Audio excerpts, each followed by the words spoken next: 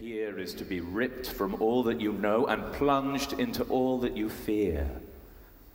Travel Britain today, and you can hear stories of exile and migration in every town, but our story comes from a Britain of over 200 years ago, when this island was a smaller, harder place, where most people in their lives never saw more than 10 miles from where they lived. They could scarce imagine what lay over the hills, let alone the other side of the world. Let's head east, as far as we can go, to the counties of Suffolk and Norfolk. Here is a land apart, in places so flat you cannot hide from the eye of God, and often so wet, so low, you can be suddenly engulfed by sea or river or marsh. There's a fear of inundation here, and it rises where the counties meet along the River Waveney. Here, midway beside this flowing border, lies a village called Mendham, once circled by marshes, still prey to rising waters. And in this village there lives a family called Cable, father, mother, and son Henry, a boy, soon to be a man. But all is not well with the Cables, for there is no work. And when there is no work, there is no food. Once the father would have traveled for employment, but now he is tied to his kin. He's a good man, but he's becoming desperate. And as he looks across the river into Norfolk, he can see rich houses for the picking. He's a good man, but he's a desperate man and he's becoming tempted. For the times they are hard and the wages are poor. None of us poor fellows has money in store. So how can a good man keep the wolf from the door?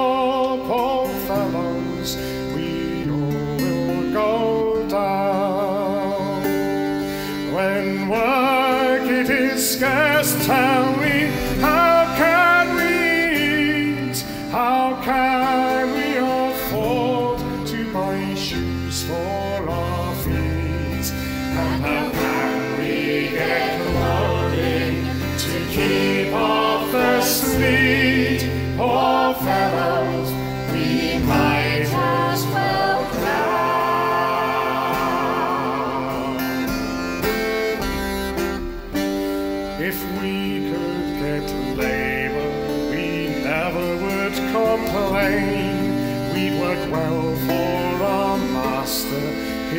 his favor to gain. We'd be honest and faithful, with never a stain. But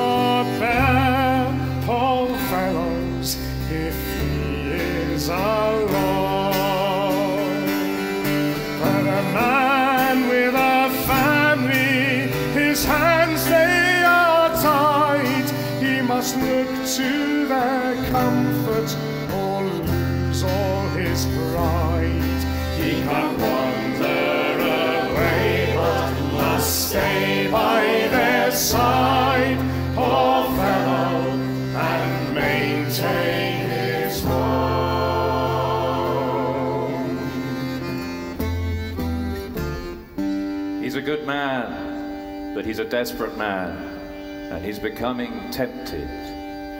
A man that is willing can't understand why he can find no employment, how hard he may try, and it breaks his poor heart for to see his wife cry. Poor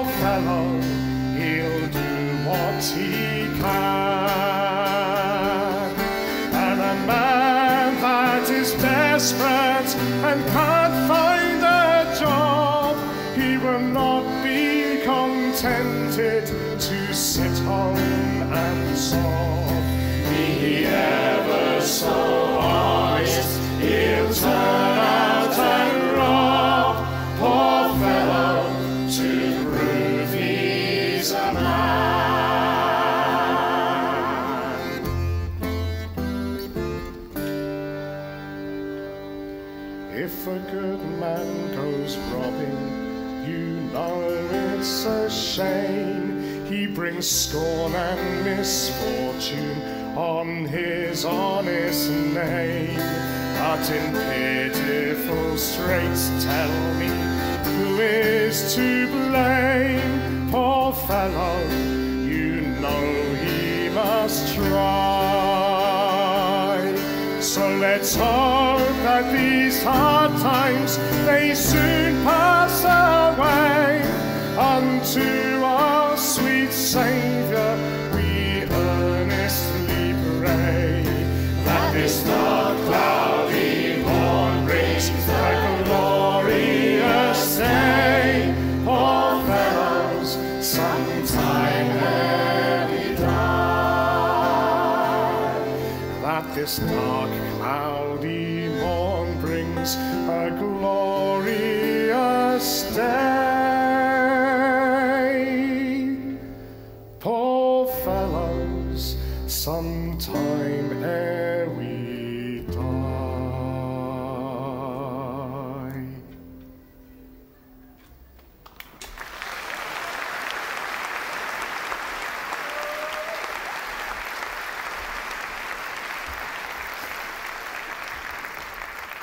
If Henry's father was a good man, then his father's friend Abe Carman was not.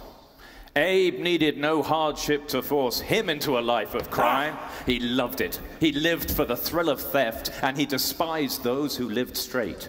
He said, There are plenty of ways to die boring, so let me live free, let me run free, let me steal free, till the day that I hang. Oh, his hip Carman, and you might find me alarming if you think that there is harm in the trade of burglary. I live by taking chances like those heroes of romances, and by taking what I fancies from those wealthier than me. Yes, there are goods all for the taking, and there is no mistaking. There is little you'll be making on the straight and narrow path, like toiling for the masters and bowing to the pastors, those cruel, heartless bastards who would see a poor man starve. Old companions, I have seen 'em cast off all thoughts of freedom as their wives and babies need 'em, and the bread for which they slave. So their pride they learn to humble, being never heard to grumble. But before I take that tumble, you will find me in my grave. Some they goes to be a soldier with the muskets on their shoulder, but they never grows no older once the generals ride to war. And the lads who plough the ocean wish they'd never thought the notion as commanders seek promotion on a tide of sailors go. Thank you, Henry. Oh, this, I may be a poor, lowly robber, but this is a folk instrument. How difficult can it be? Okay, as a robber, it seems only fitting that I should say, let's take it away!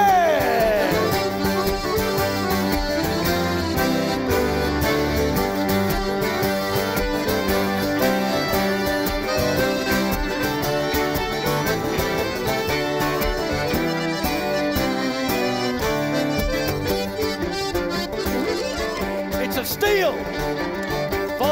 Let who will bow under like a man who hides some thunder. But as long as I can plunder, I will steer my course alone. No wife will ever mold me, no tyrant will control me, no bride will door will hold me, and my soul will be my own.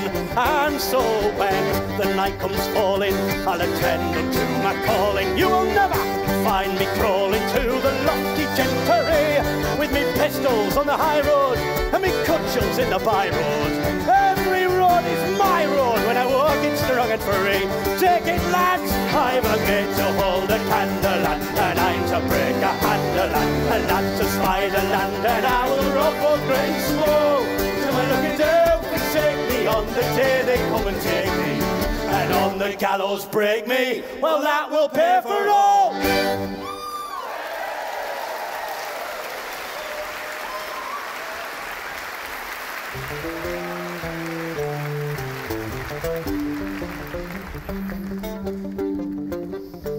There's a saying amongst criminals don't thieve too close to home, put distance between you and your crime. Maybe Abe Carman thought it was enough to cross a river into another county.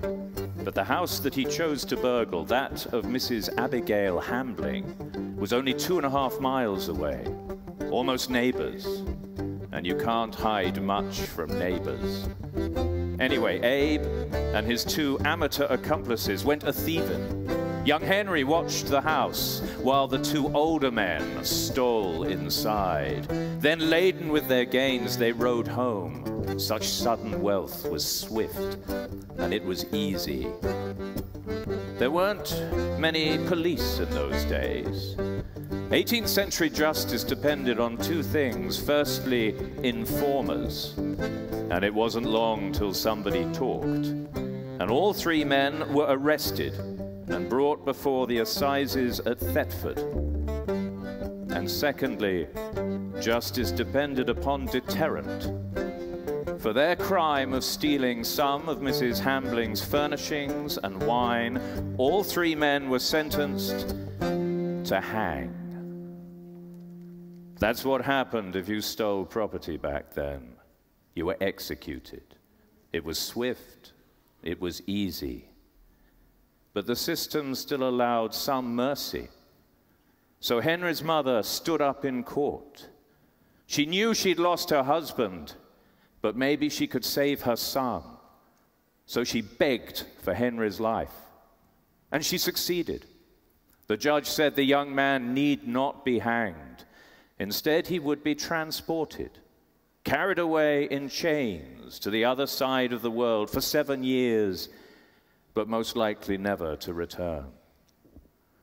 So she saved her son, but her family is destroyed. And three weeks later, on a cold April morning, on the steep green hill beneath Norwich Castle, she watched her husband swing beside the man who had brought him to this fate. Maybe Abe played to the crowd. People loved a hanging, and they loved a fearless exit. And Abe had boasted, Till me luck it do forsake me, and on the day when they do take me, and on the gallows break me, and that will pay for all. But it won't pay for her loss. She's lost her entire family now. She curses the world. And she curses what once was good, like love and marriage. And she warns young women don't get wed. All sorrows lie there. Oh, the grass in the meadow, the reeds by the mere, the sad boom of the bittern is all that I hear, and the leaves in the woodland and the gulls by the shore cry. You never shall sit by your loved ones no more.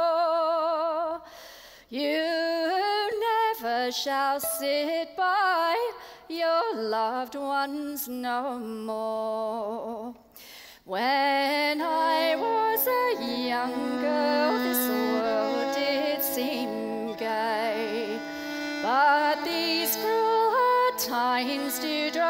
comfort away, and the leaves in the woodland and the gulls by the shore cry. You never shall dance with your sweetheart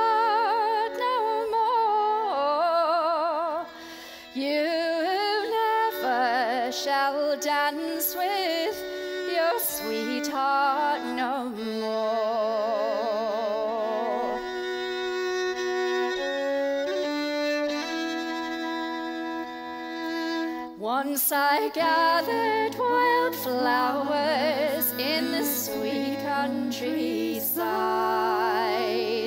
but my garlands have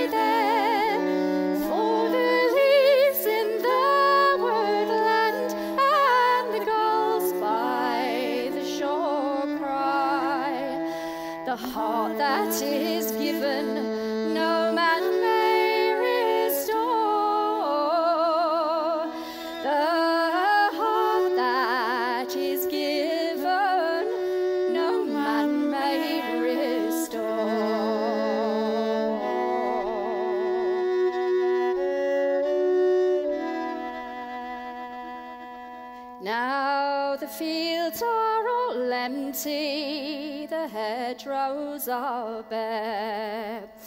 Only wild desolation is all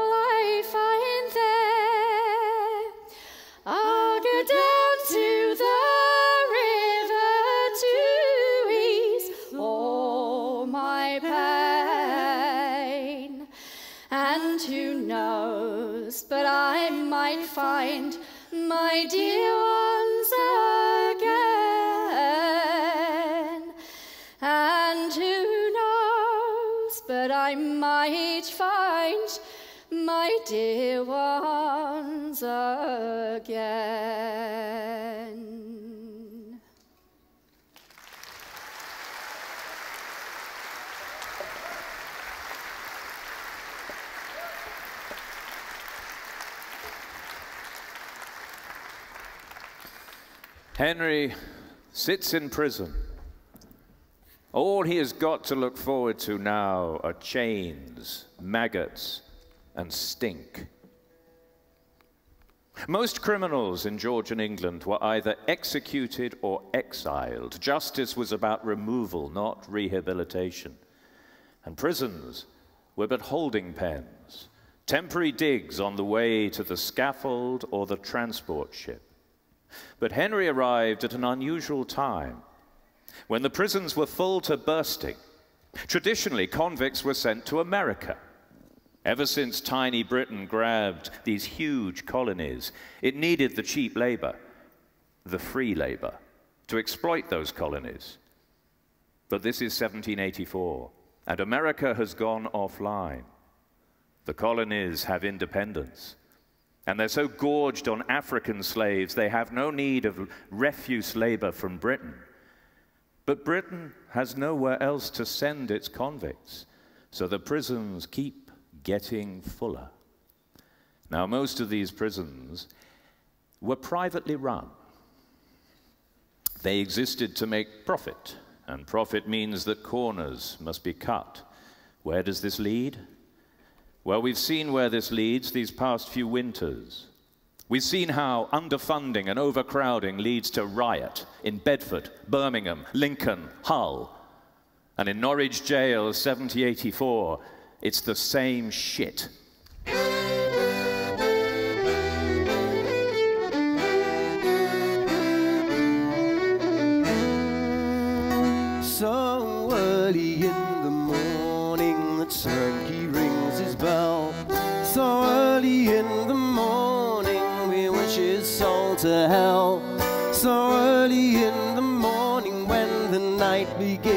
Pale, we wonder if we'll ever see the last of Norwich jail. The food is foul, the air is bad, the company no choice. Twould make you scowl to hear that mad old turnkey's rasping voice. Twould make you wonder, would you ever live to tell the tale of the hardships and the miseries we've known in Norwich jail? Our water here is scummy green, our beds is heaps of straw. There's water running down the walls and rats running on the floor. There's naught to eat but rotten meat that'd make a dog turn pale. Oh, it's dainty board and lodging when you visit Norwich jail. So early in the morning, the turnkey rings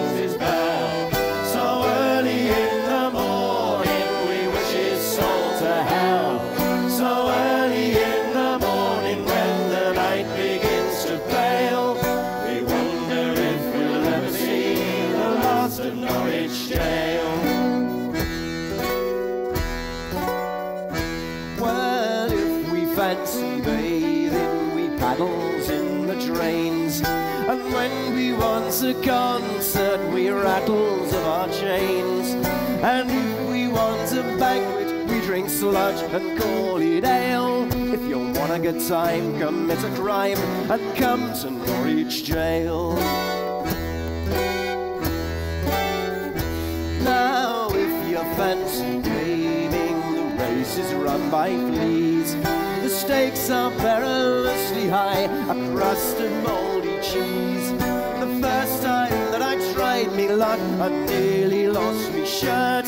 But lucky for me, they couldn't see the bugger for the dirt. So early in the morning, the turnkey rings his bell.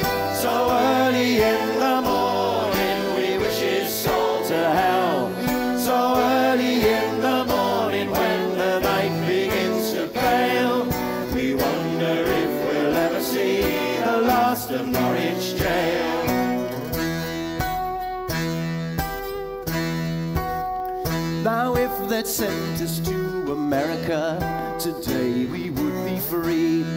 But since the revolution, that land will never see. We are not for New England shores, 3,000 miles away. They say we're bound for further ground, they've called it Botany Bay. Well, perhaps it's out by India Japan. Just off the coast of Canada or in the hills of Spain. But wherever that strange land may be, we know it cannot fail to be a far, far better place than stinking Norwich jail. So early in the morning, the turnkey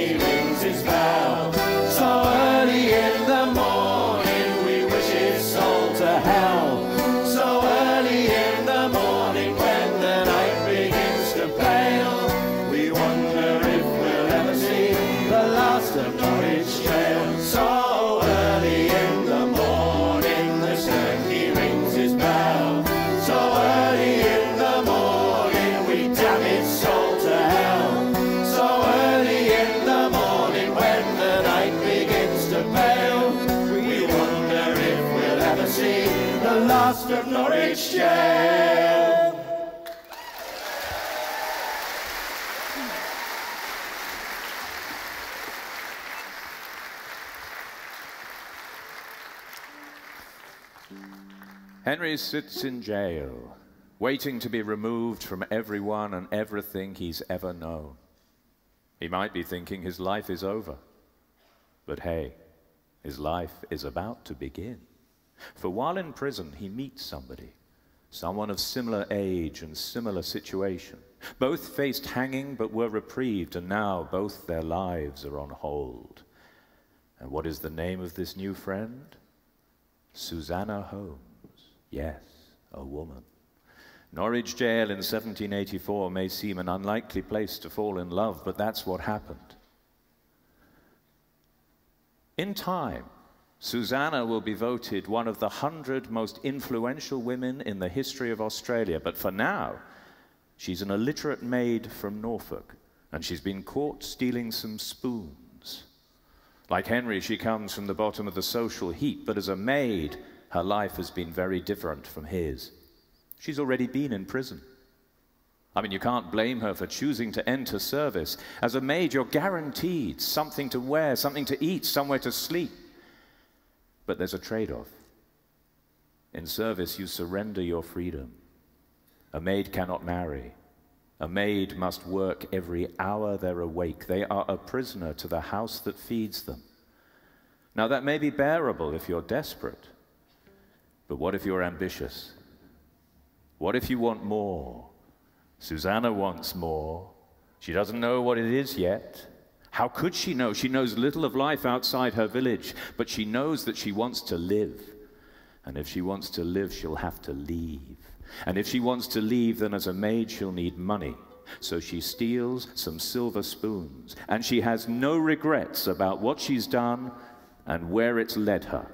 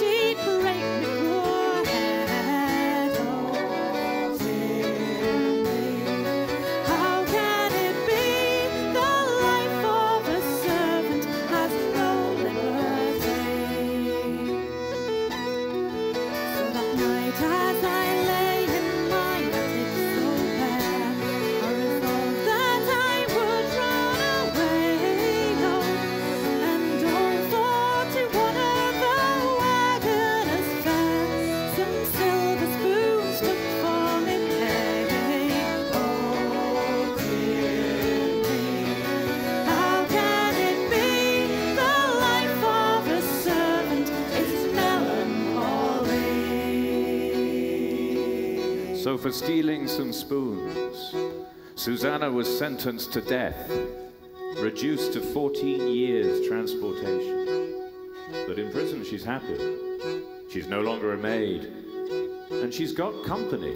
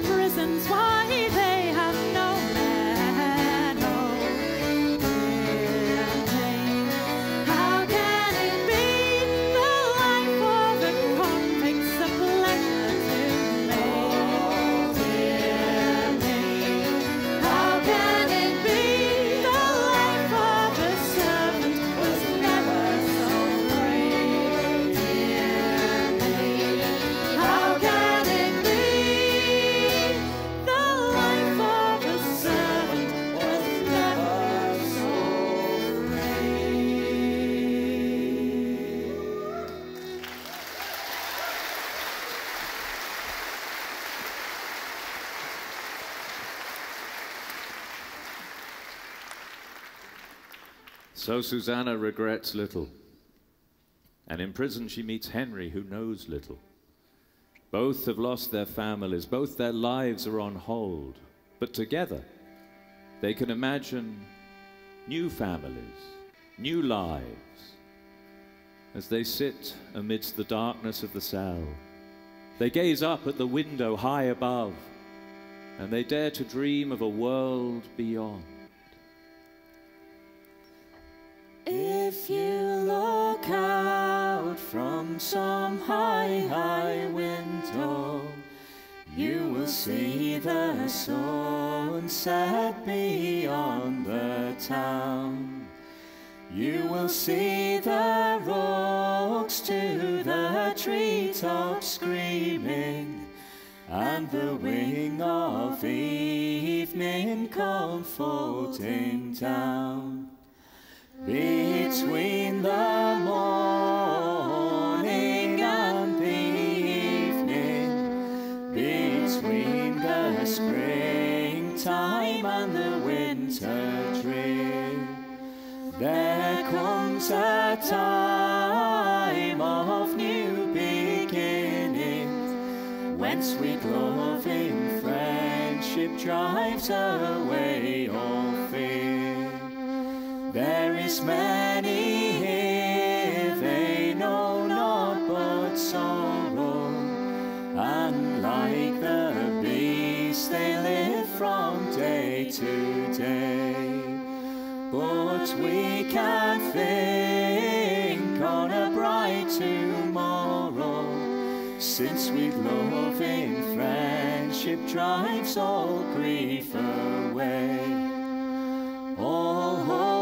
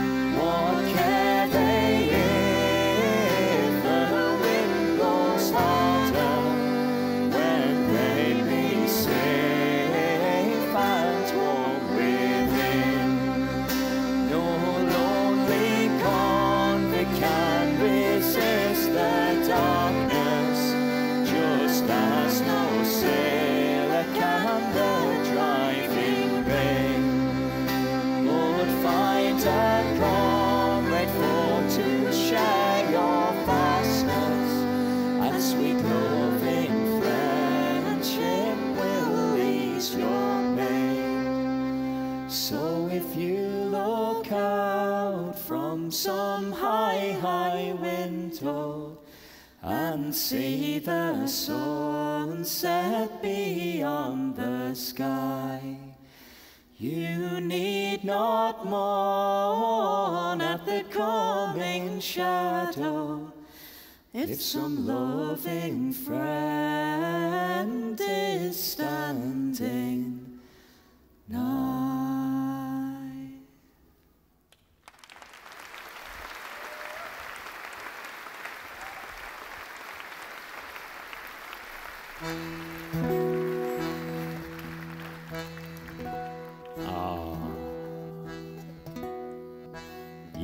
Passes year, and this young couple enjoy an unusual freedom in Norwich jail.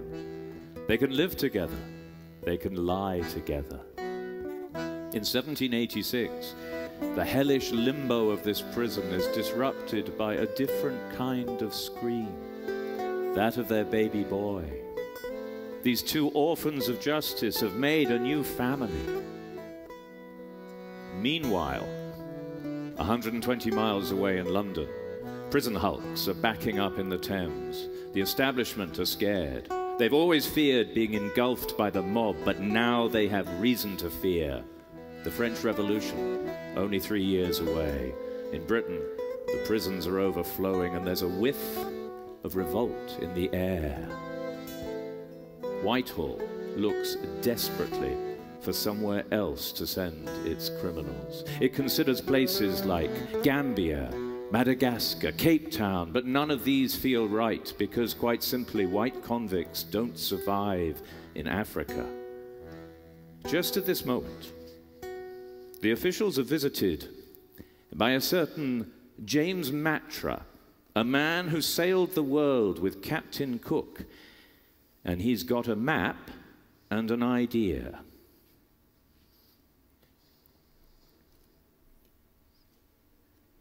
This may be a bold notion, but I remember back in 1770, saw somewhere that may be fit for your purposes. Botany Bay, we called it. Well, we didn't stay long, but seemed fertile and fit for human settlement. Maybe we should take a look, said the officials. Are you in a hurry? Yes. That may be a problem. Takes 18 months to get there and back, and well, you might not actually get back. So you're suggesting that we send thousands of chained criminals, plus their guards, plus all that's needed to create a penal colony from scratch the guardsmen, the tradesmen, the suppliers, the tools, the supplies to an unknown rock, 10,000 miles away, seen once by one British ship 17 years ago. Yes. And it's more like 15,000 miles. Well, this was madness. A wild gamble. This was madness. It was a wild gamble, but they did it. And plans started for the first fleet to New South Wales. 11 ships with 736 convicts, 578 civilians and soldiers, and all that was needed to create a penal colony from scratch. Then someone thought, a bit late, that there's no point in creating a colony with only men. So word went out to gather female convicts, and a letter reached the governor of Norwich Jail outlining three women prisoners who must be hastened to Plymouth to join the fleet. One of those named was Susanna Holmes, but there was no mention of Henry Cable. Henry begged that they might marry so they could go together, but a wedding in jail was a liberty too far for this governor. So Susanna and the baby were taken away. So now, having lost his first family, Henry's second family is being ripped from him too. The woman whose love sustained him in jail, the child that offered hope of a new life. Maybe his mother was right. It's best not to love in the first place. Henry sits sad within his cell, and he sings a lament to all those who have lost everything. It is cold, sad, and lonely in this dismal cell. No solace comes up with the day. My heart knows an anguish that no tongue can tell, for they've taken my true love away. Oh, the black and bitter night, and oh, the weary day. My love has been snatched far, far from my sight, and the transports will bear her When first to this prison, so deep was my pain, then she came and she banished dismay. But now in despondence, I'm drowning again, for they've taken my true love away.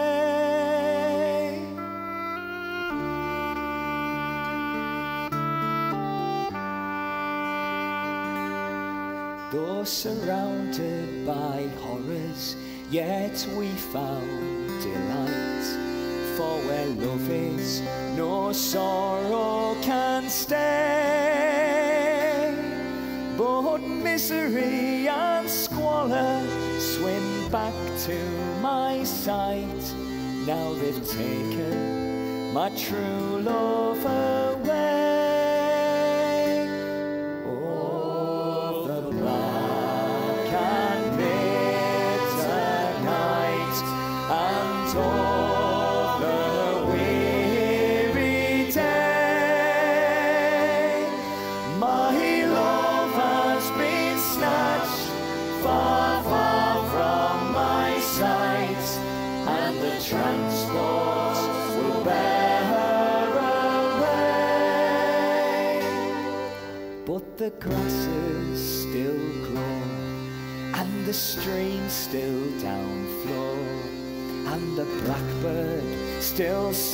On the spray. But in dank, dreary dungeons, there is nothing but war. when they've taken your true love away.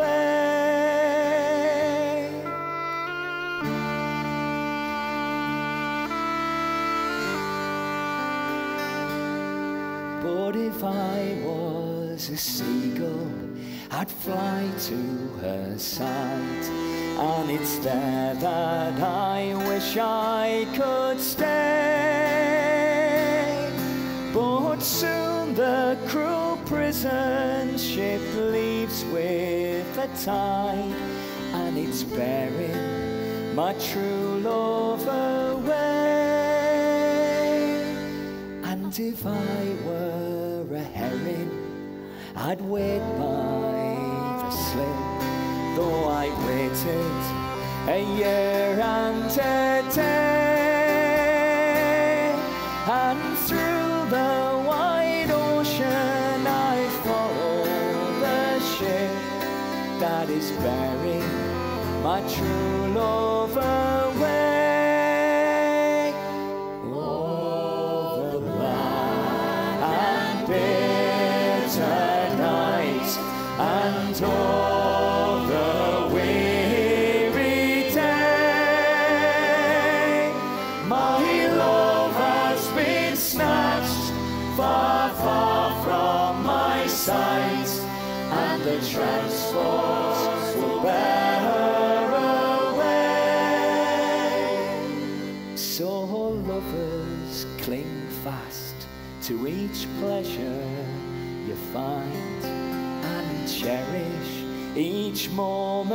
of play.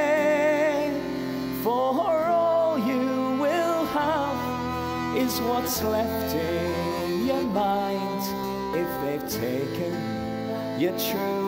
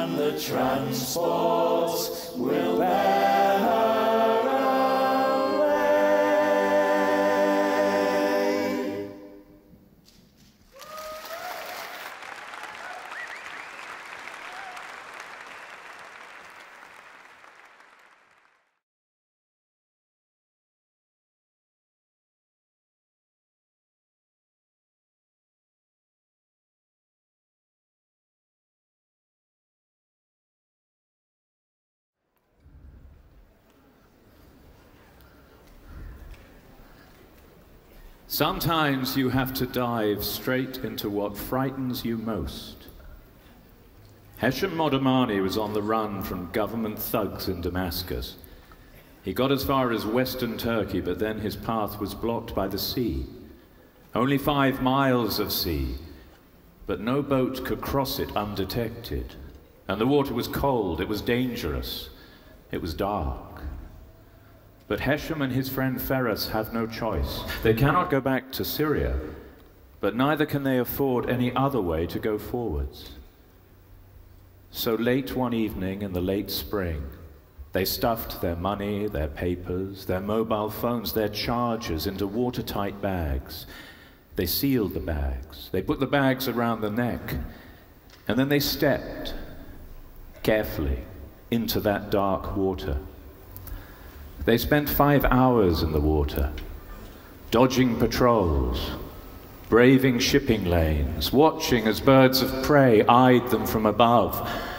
And in one oddly joyful moment, Hesham swam on his back, gazed up at the stars, and for the first time in so long he felt a sense of peace. But then, midstream, with the waves now towering over them, Hesham realized he could swim no more. Death beckoned. Could this be another anonymous drowning in the eastern Mediterranean?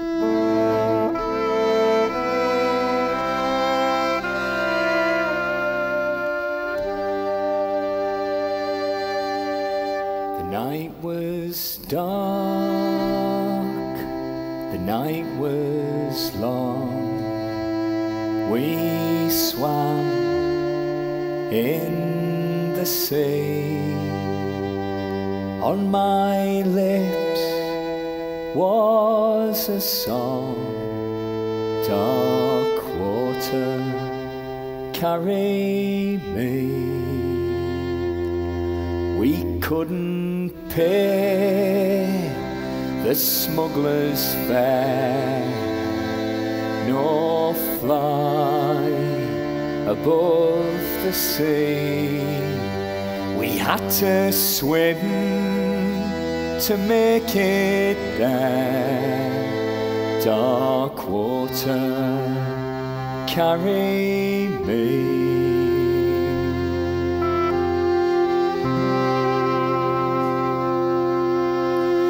Tie your phone around your chest, my friend said to me, and tie your shoes around your neck, dark water, carry me. And off we swam, and the sea was calm,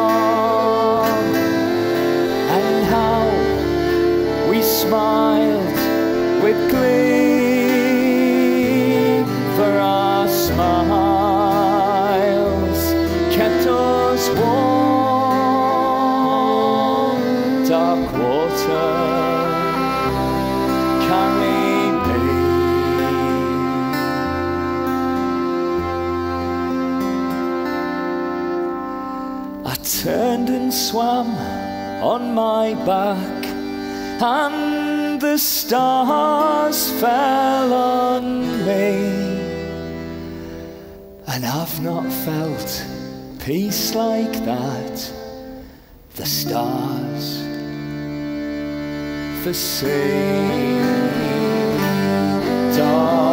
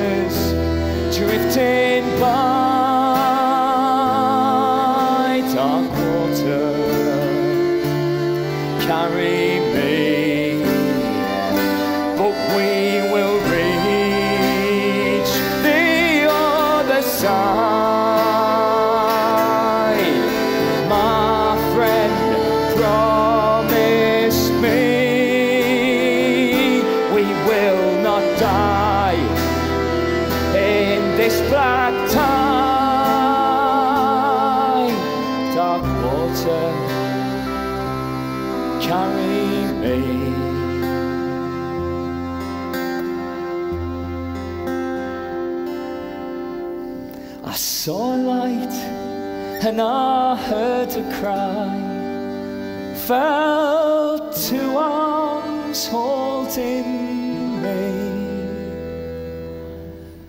And I've not felt joy like that. Pulled from the sea. Dark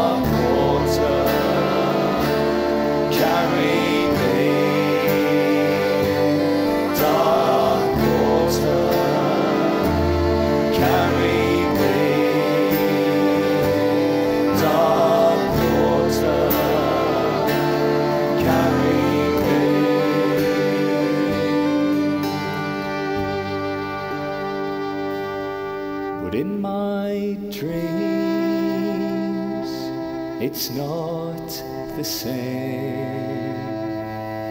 For I, I am the same.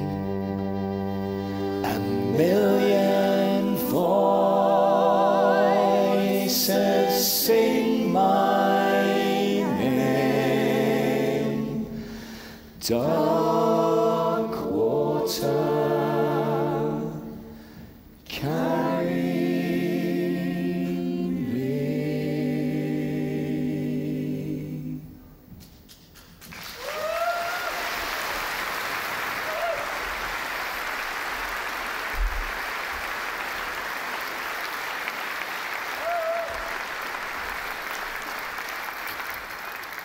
Hesham Modamani survived.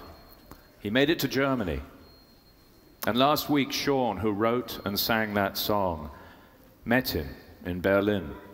And together with David and Michael from the Young'uns, they sang him Dark Water. History has always been shaped by the crossing of oceans by desperate people. Travel Britain today, you can hear stories of exile and migration in every town. On the very same boat as Henry and Susanna were nine convicts from the assizes here in Shrewsbury. The youngest of them was John Bennett. He was described as a young man but an old rogue, and within four months of arriving in Botany Bay, he was hanged for stealing food. He wasn't yet 20. Thomas Stretch was a miller from Shrewsbury. He was on that boat as well. He was there going for seven years. And his crime? He'd stolen goods worth three shillings. He was hardly a hardened criminal. One of the most noted transported convicts from Shrewsbury was the wonderful Molly Morgan. She arrived on the Second Fleet in 1790. She survived a horrific passage in which one third of the convicts on her boat died. As soon as she arrived, she tried to escape. She succeeded. She made it back to Britain, but then was arrested again and again was sentenced to be transported back to Australia, where this time she served her term. And when it was finished, she became a farmer. She ran inns. She became one of the wealthiest landowners in the Hunter Valley. She funded schools. She funded hospitals. She made good. People go, people come. Parallel lives. An 11 year old boy and his mother crouch beside some other refugees in a boat as it approaches Harwich. They've escaped horror in their homeland. They now seek sanct sanctuary in Britain. They've been lucky. A couple of school teachers in Carnarvon answered an advertisement in The Guardian and vouchsafed their passage to Britain. But the father of the family could not come. And when they arrived, they are separated the mother to go and work, the boy to Carnarvon. The year is 1938. They're Austrian Jews. The boy is so traumatized they must remove the whistle from the kettle. It reminds him of the police rounding people up in the Vienna ghetto. The next year they get lucky. The father comes over. It's March 1939 now, and he finds work here in Shrewsbury at the Silhouette Corset Factory a factory built by refugees, German Jews, who'd been forced out of business in Germany. They'd come to London to set up business again. But again, they were forced out by the Nazis, this time their bombs, and they came here to Shrewsbury. They became some of the main employers in the town. And Silhouette became one of the famous, most famous underwear and swimwear firms in Britain. And a steady stream of refugees made their way here, worked in the factory, and then lived their whole lives in this town. People come, people go. One of the things that Hesham said to Sean when they were in Berlin last week was, I may be a refugee, but I am not defined by it. I am something more than that. Think of that. Think also, think of the trauma that you feel when you lose a loved one. Most of us will have had that feeling. It cuts us in two. Now multiply that feeling for losing several, many loved ones, neighbors, friends. Add to it the horror of seeing people die around you, people you know, people you don't know. Blend in the constant fear of not knowing where your home would be. And then imagine the level of trauma being harbored within somebody who arrives here, a relatively peaceful country, where, of course, having jumped these hoops, is now expected to be a good refugee. Fortunately, there are many good organizations working to help people who arrive. In every town where we perform the show, we partner with a local organization as part of our Parallel Lives program. Here, we're delighted to partner with a wonderful organization called Shropshire Supports Refugees. Look out for them, they do good work.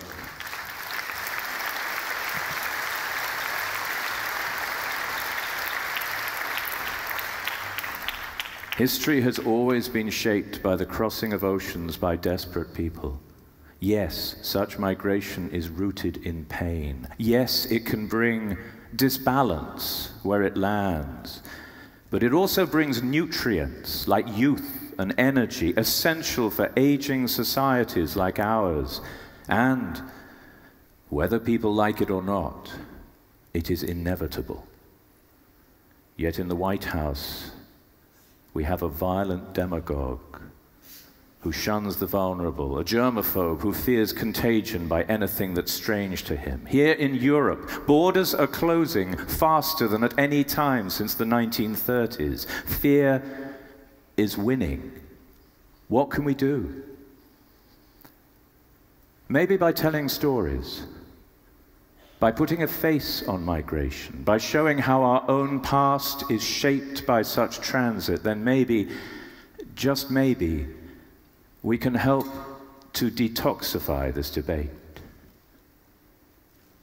And talking of stories, it's now time to return to Henry and Susanna. And it's time for us to meet our hero. They've, oh dear. Our hero is called John Simpson. He's a turnkey, a jailer from Norwich, and he's not happy because he's been given a terrible job.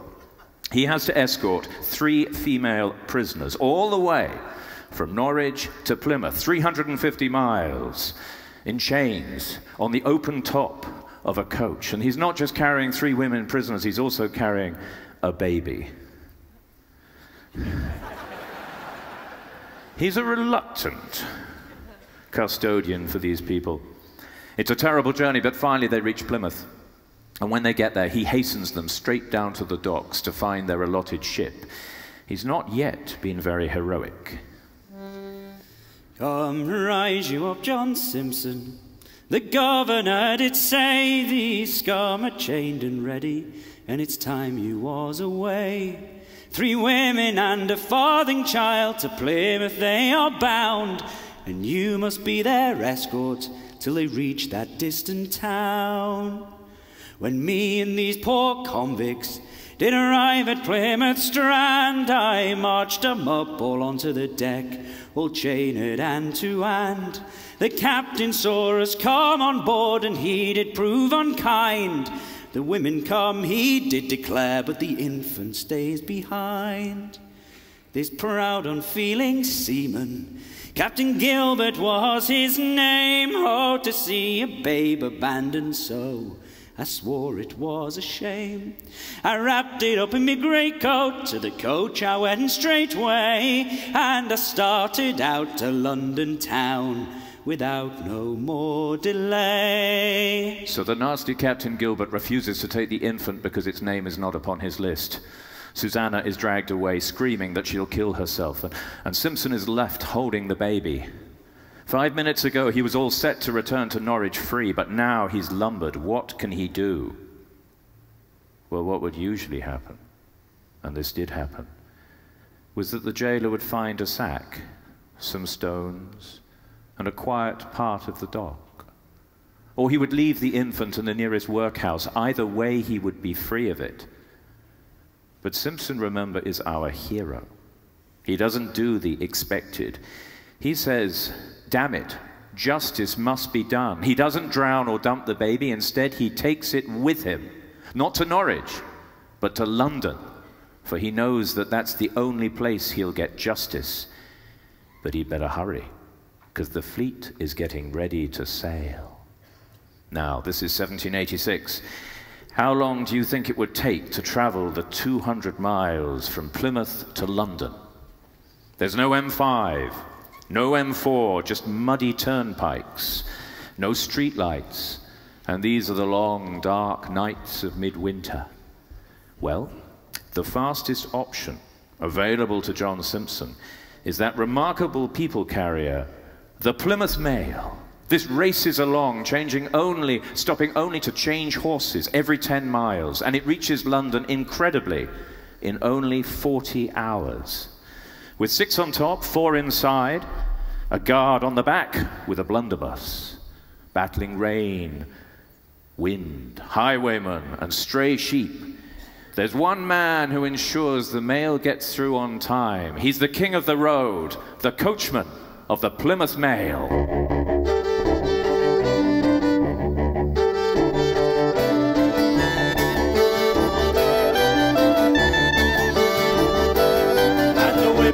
Crack and the horn does blow. The turnpike calls and I must go. No wind, no sleet, no rain, no hail. will halt the driver of the Plymouth Mail. I was a lad, I used to play the roadside all the live long day, hoping always to espy the gentry's coaches are rolling by. When I was a youth, I used to roam the wagoner from town to town, but I long to fly across this land on a stagecoach high, four in hand. And now I've grown unto a man. The driver's box I take my stand.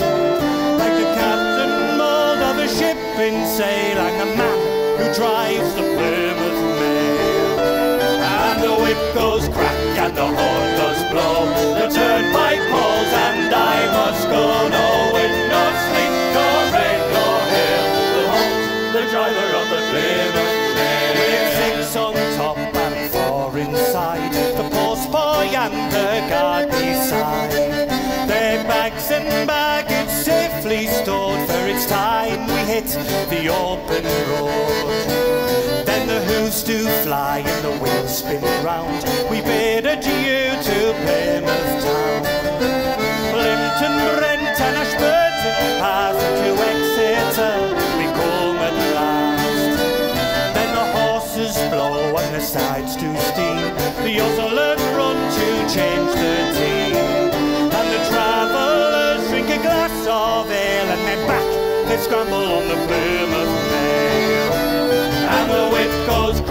the horn blow. The turnpike and I must go.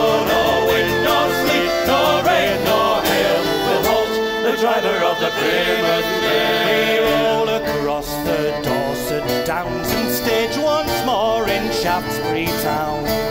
I crack my whip with a might and main, and on we roll to Salisbury Plain. Soon fly, the gibbets loom against the sky, and the travellers they hide their gold for fear we'll meet some robbers' boys. And the whip goes crack and the horn does blow, the turnpike calls and I must go. No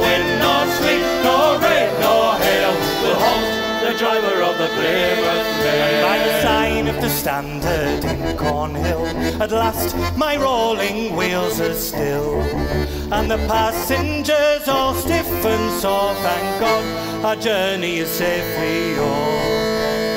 In a cosy parlour now I stand, goodly bumper in my hand. And the travellers the driver of the Plymouth Mail. And the whip goes crack and the horn does blow.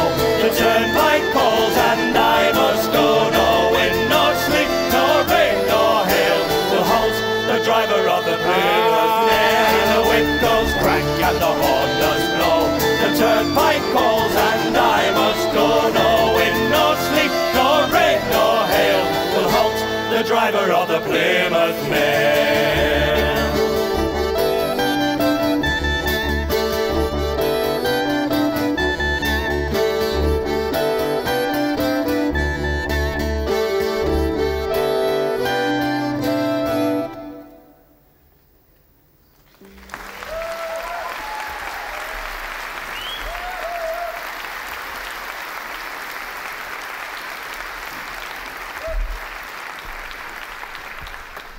John Simpson arrives in London.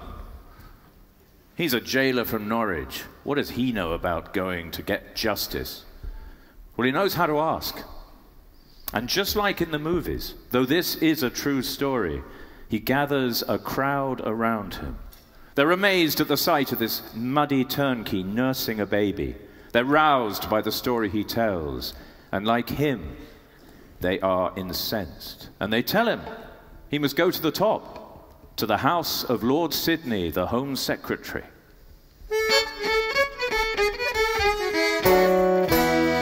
Now when I came to London, having rode 200 miles to see a turnkey nurse a baby, caused the crowd to smile.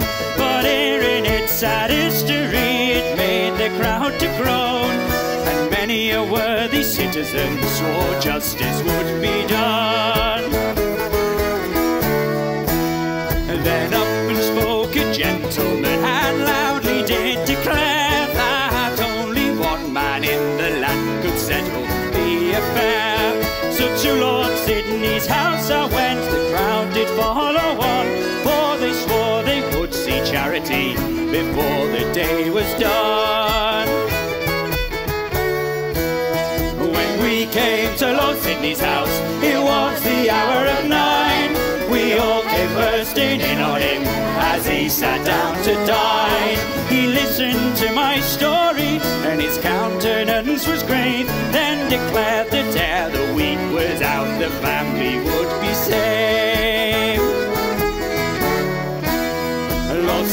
Wrote two letters and he signed them with his hand. One to Plymouth, one to Norwich, bidding them to understand that young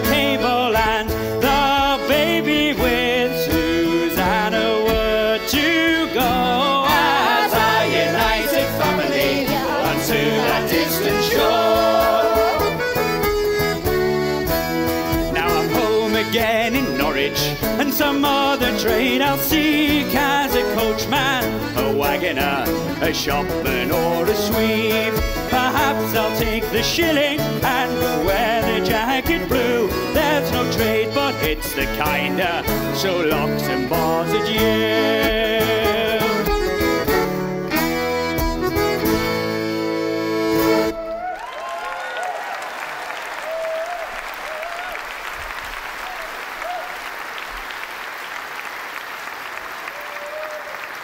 Thank you, John Simpson, our hero. We're now back in Plymouth. Thanks to Simpson, thanks to Lord Sydney, the Home Secretary. Henry has been reunited with the baby, and together they've joined Susanna before she set sail. A happy outcome. But Plymouth is not a hammy place. Imagine you were one of those destined to go to New South Wales. It must have felt like going to the other side of the moon, or worse. At least you can see the moon. Few thought that they would return, especially when they saw the tiny boats that they would be sailing in. The largest boat was only 114 foot long. The berths were tiny. Imagine a space the size of a king size bed, clearance three and a half to four feet. And into this space would go four convicts in chains for the eight months of the voyage. If that was not bad enough, there was a crook in charge of supplies. He'd falsified the flour. There was only enough for two slices of bread per day per convict. He'd also failed to supply any musket balls. So on the outward leg to Rio, the Marines had to pretend that their guns were loaded. Not that the convicts could have tried much on anyway. Most of them had 14 pounds of iron riveted to their ankle, which somewhat deterred attempts to escape by swimming. So, who were these emigrants? They weren't the sort of people you might need on a desert island. There were few fishermen, few farmers, few builders, but they were young. The average age was 27, just like in the jungle camp in Calais. And like there, the majority were young men. Finally, today it would be like something out of science fiction. A band of guinea pigs beamed into outer space to colonize some distant galaxy. As they prepare to leave, this misfit band of Britons bid farewell to the green land of their birth.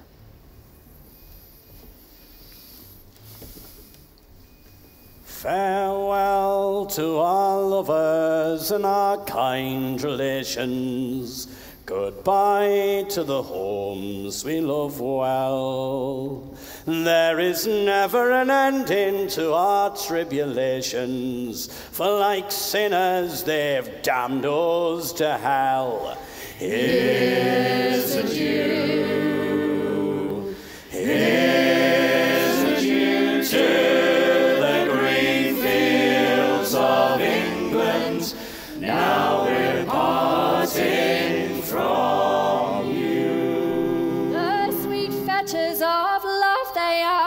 Asunder as they tear us from sweethearts and wives. And on some foreign shore we are sentenced to wander in exile the rest of our lives. Here's adieu.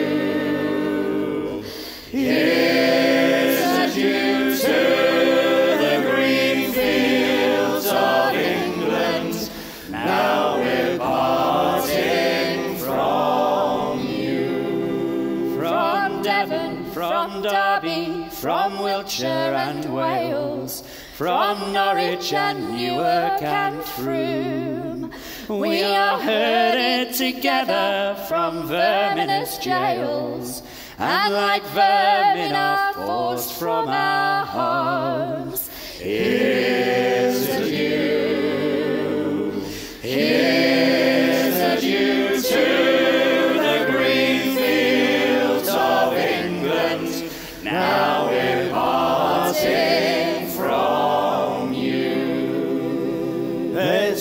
And cut purses and rogues with no name. There's swindlers and sheep stealers bold. There's poor poaching fellows took nothing but game, And footpads took nothing but gold. Here's a Jew. Here's a Jew the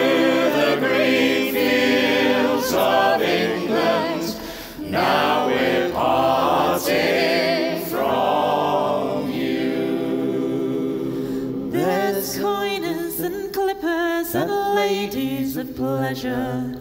There's dicers and drunkards and whores. There's butchers and bakers who dealt in short measures, and a few who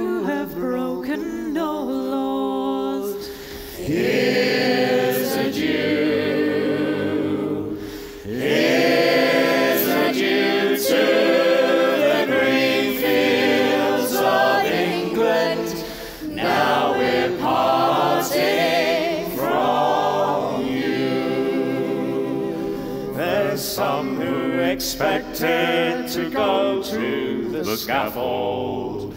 There's others who thought to go free.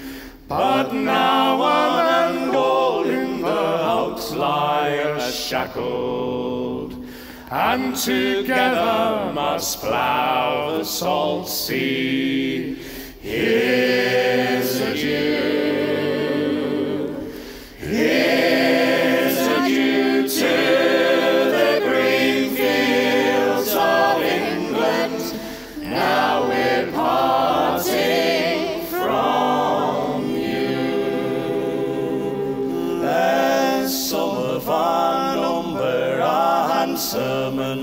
Hearty.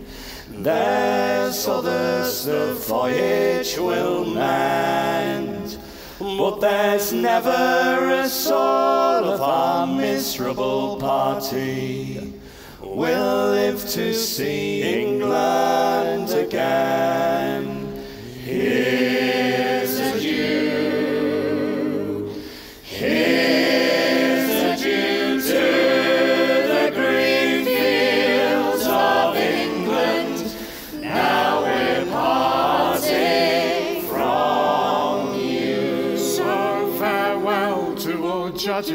So kind and forgiving. Farewell to your prisons and cells. For though we must leave all that makes life worth living, We are leaving you bastards as well.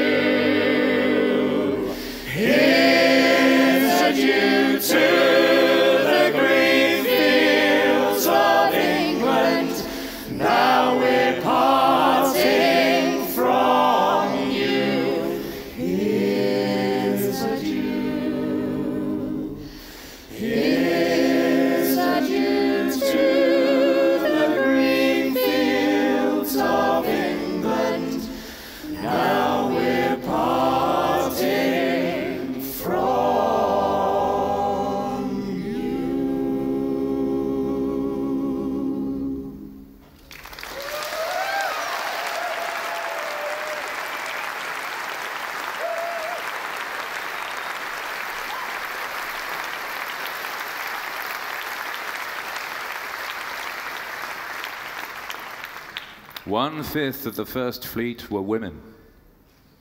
What kind of voyage could they expect? Well, transport vessels tended to be ex cargo vessels. The fees were low, so the boats were old, the crews were poor. Even so, the conditions were better than on slave boats. And they were better than on the paid emigrant boats, where the captains paid in advance had little incentive to keep the cargo breathing. Even so, the conditions were terrible. By the time they'd reached Rio, most of the women's clothing was so infested with lice it had to be burnt. And new clothes were fashioned for them out of rice sacks, which made them yet more vulnerable to the advances of marines, crew, and other convicts. Many women had to make that terrible decision whether to ally themselves with one strong man and in so doing avoid the predations of many. The oldest woman aboard was 82 years old. 19 women gave birth during the course of the voyage. The first, Elizabeth Evans, just one week out from Plymouth, she miscarried. But Isabella Lawson gave birth to a baby girl just a week later. Once they were out of sight of land, all but the most unruly convicts were allowed unchained to exercise on deck which helped to keep people alive. Henry and Susanna, they were lucky. For much of the voyage, they were able to travel with their child. But what can it have been like to travel like a family in this way? Just as the families we see today crouching on those flimsy inflatables, squatting outside the tents in Jordan, or walking the rail tracks in Macedonia? How does a family sustain its dignity during such transit?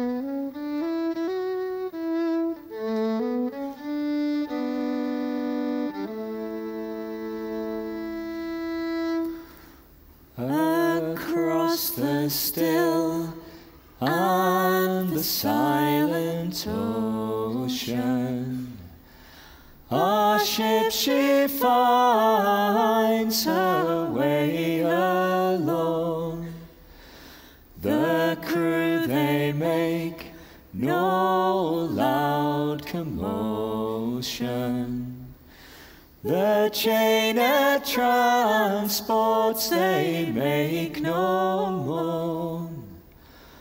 All black despair to lie behind us, and what awaits us no man may know.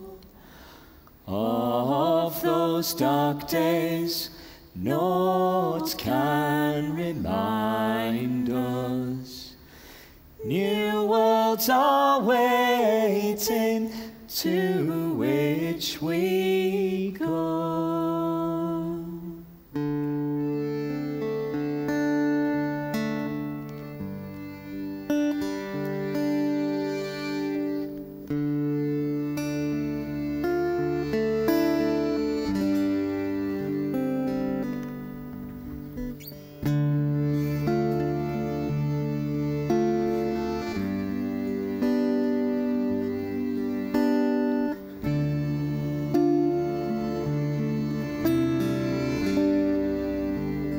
As the sun set on the 19th of January 1788, after eight months of voyage, the ship sighted land. By 10 o'clock the next morning, they were safely anchored in Botany Bay.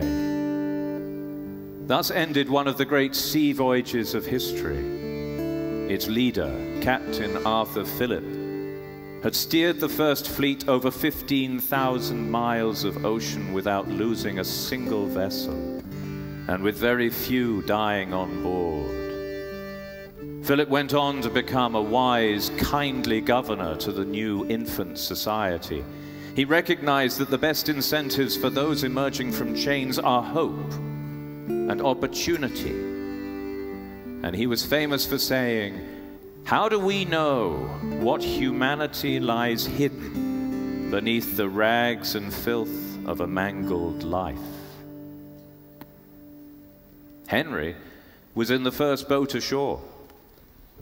It's said that the captain was reluctant to get his feet wet, so Henry took the captain upon his shoulders and carried him through the surf, a noble entrance upon the new land. Two weeks later, Henry and Susanna were married. The first European wedding in this place. But thereafter, life proved tough for the settlers. The land was barren, the supplies inadequate, the convicts incompetent, and the soldiers unruly. And let's not forget, they had stolen this land from those who already lived there. But in time, this motley group survived and thrived Susanna raised 11 children. She was one of the founding mothers of this infant society. Henry, he became the chief constable and a businessman. Back in Britain, they had no hope, but here they found ambition, and their ambition found reward. Where two families had been destroyed, a new family arose, and it became one of the families of Australia. In 1988, on the site of the old first colony near Sydney, the 200th wedding anniversary of Henry and Susanna was celebrated by 500 of their descendants.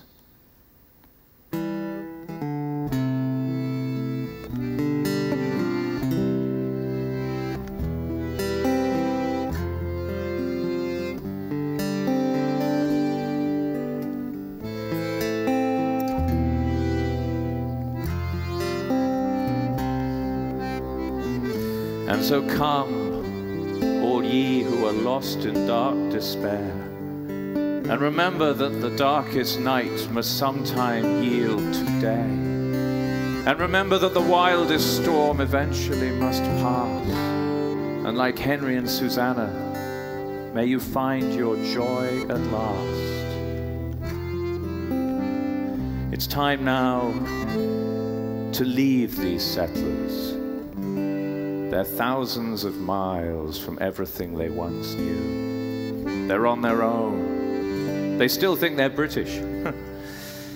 but the only thing that connects them to the land from which they left are the small boats that brave the big seas to reach them.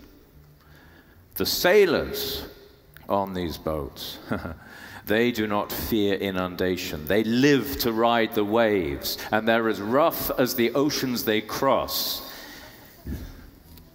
At a time when few travel, they know the world well, and they sing of the world they know. But most of all, they cannot wait to return to Plymouth and the ladies they left there behind. Sweet ladies of Plymouth, we're saying goodbye. Roll down. But we'll rock you and roll you again by and by. Walk around, me brave boys, and roll down, and we will roll down. Walk around, me brave boys, and roll down the anchors aweigh and the sails unfurled. Roll down. And we're bound for to take her halfway round the world. Walk around, me brave boys, and roll down, and we will roll down. Walk around, me brave boys, and roll down wide Bay of Biscay, the seas will run high. Roll down. The poor sickly transports, they'll wish they could die. Walk around, me brave boys, and roll down, and we will roll down. Walk around, me brave boys, and roll down. When the wild coast of Africa it do appear, roll down. The poor nervous as transports they'll tremble with fear. Walk around me, brave boys, and roll down, and we will roll down. Walk around me, brave boys, and roll down. When the Cape of Good Hope it is rounded at last, roll down. Them poor lonesome transports along for the past. Walk around me, brave boys, and roll down, and we will roll down. Walk around me, brave boys, and roll down. When the great southern whales and our quarter to spout, roll down. And poor simple transports will goggle and shout. Walk around me, brave boys, and roll down, and we will roll down. Walk around me, brave boys, and roll down. And uh, when we arrive off Australia's strand, roll down. Poor and sports, they'll long for the land. Walk around me, brave boys, and roll down, and we will roll down. Walk around me, brave boys, and roll down. And when we set sail for old England shore, roll poor stranded transports, we'll see them no more. Walk around me, brave boys, and roll down, and we will roll down. Walk around me, brave boys, and roll down. Then, sweet ladies of Plymouth will pay all your rent. Roll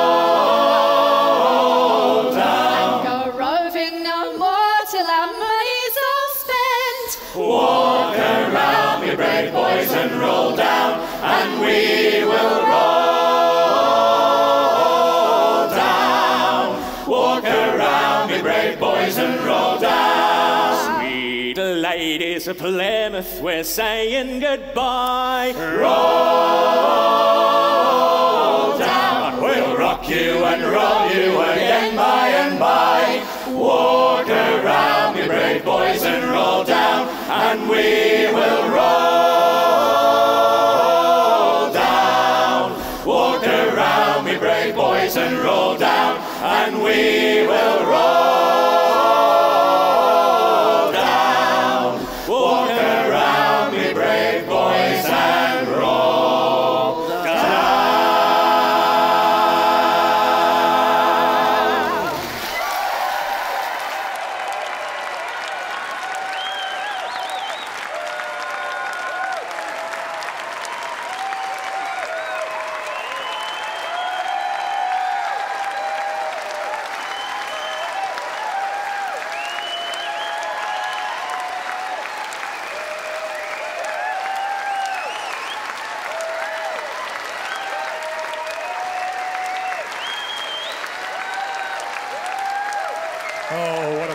fantastic show.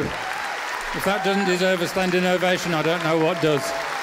That was incredible. Don't forget,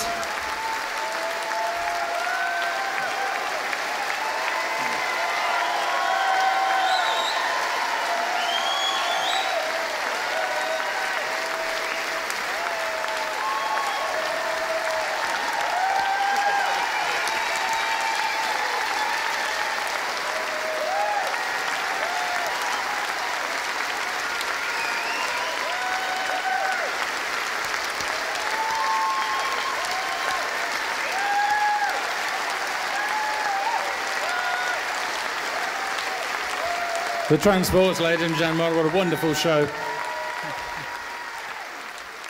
Don't forget that Matthew will be doing a book signing over at Roots Records.